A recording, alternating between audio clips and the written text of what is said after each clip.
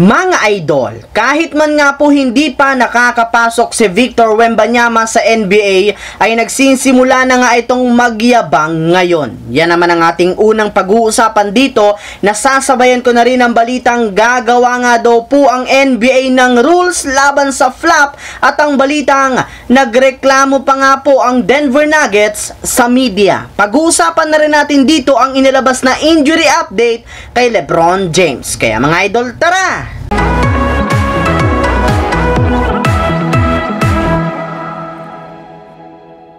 Alam naman nga po ninyo mga idol, isa nga po sa mga pinakakinaiinisan ngayon ng mga fans sa NBA ay ang mayayabang na mga malalaro sa liga. At sa kasamaang palad mukhang mapapabila nga daw ang dito ang inaasahang magiging first overall pick sa darating na 2023 NBA Draft na si Victor Wembanyama. Katulad nga po ng ibinalita ko sa inyo pagkatapos lamang nga pong malaman nito na ang San Antonio Spurs ang kukuha sa kanya ngayong taon.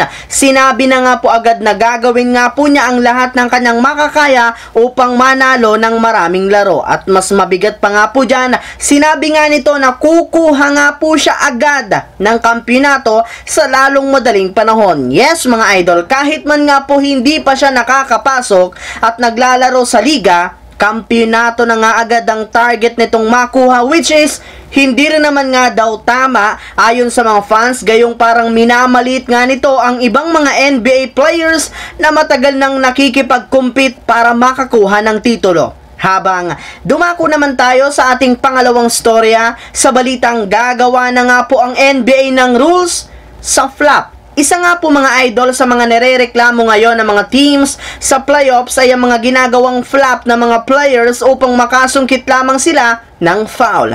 Parami na rin naman nga ito ng parami at nakakaapekto na nga daw ito sa resulta ng mga laro sa playoffs kaya nagiging problema nga ayan ng mga teams ngayon. Kaya hindi na rin naman nga po nakapagtataka kung bakit may mga teams sa liga ang nagre-reklamo patungkol dito. At sa kabutihang palad naman mukhang naririnig na rin naman nga po ng liga ang kanilang mga hinaing. Sa katunayan, may lumabas nga po noong nakarang araw na paparusahan nga po nila ang mga malalarong nagfa-flop sa kanilang mga laro sa pamamagitan ng pagpataw ng multa. Bale, ayon nga po dito, kapag pinaulit-ulit nga po ng isang player ang paggawa ng flap, maaari nga pong mas tumas pang lalo ang maipapataw sa kanilang multa. Habang dumako naman tayo sa ating pangatlong storya sa balitang Nagreklamo pa nga po ang Denver Nuggets sa kabila ng kanilang pagkapanalo.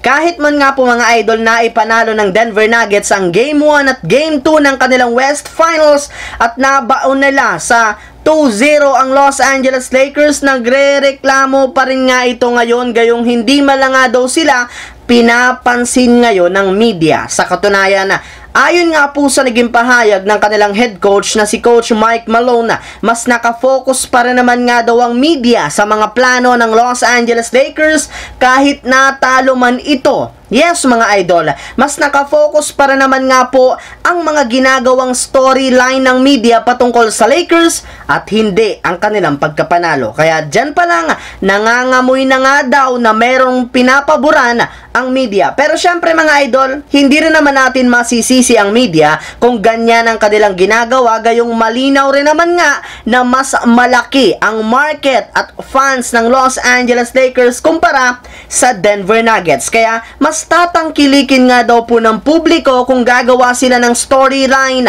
sa kanilang serye na tungkol sa Lakers. Habang dumako naman tayo sa ating huling storya dito sa inilabas na injury update kay LeBron James. Bukod nga po mga idol sa pagkakabaon na sa 0-2 ng Lakers, meron pa nga silang dapat problemahin at yan nga po yung pagtatamo ng injury ni LeBron James sa kanyang paa sa kanilang Game 2. At nangyari nga ito nang matapilok siya matapos niyang mabagsakan ng paa ni Aaron Gordon sa isang rebound sa huling segunda ng fourth quarter. Bale, sobra nga po niya itong inininda pero sa kabutihang palad rin naman natapos para naman nga niya ang kanilang laban sa diyang kinailangan lamang nga pong suriin ang kanyang paa at lagin yan ito ng tuwalya. Ngunit sa kabila nga po ng nangyari kay Lebron, sinabi pa rin naman ito na hindi nga daw po magiging rason ang kanyang injury para hindi siya maglaro sa Game 3. Ibig sabihin magiging available pa rin naman siya sa kanilang susunod na laro na gaganapin na rin naman sa kanilang home court.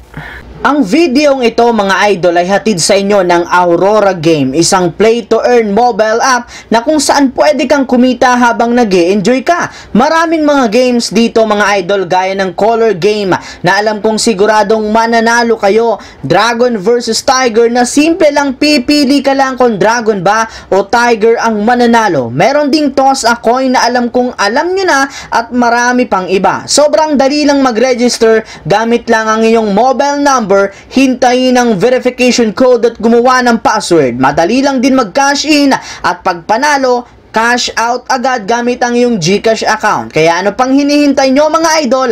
Mag-download na at manalo. Nasa comment section ang link para makapagsimula na kayo. So yun lamang mga idol ang ating bagong video na ating pinagkwentuhan ngayon dito sa aking YouTube channel. Once again, this is your J-Zone TV. Huwag kalimutang mag-like at syempre mag-subscribe. Pindutin ang notification bell sa akin channel para lagi kayong maging updated at laging ma-notify sa mga videos na pinapalabas ko. Shoutout sa lahat ng Solid J-Zone TV na laging nanonood dyan. Thanks for watching, mga idol.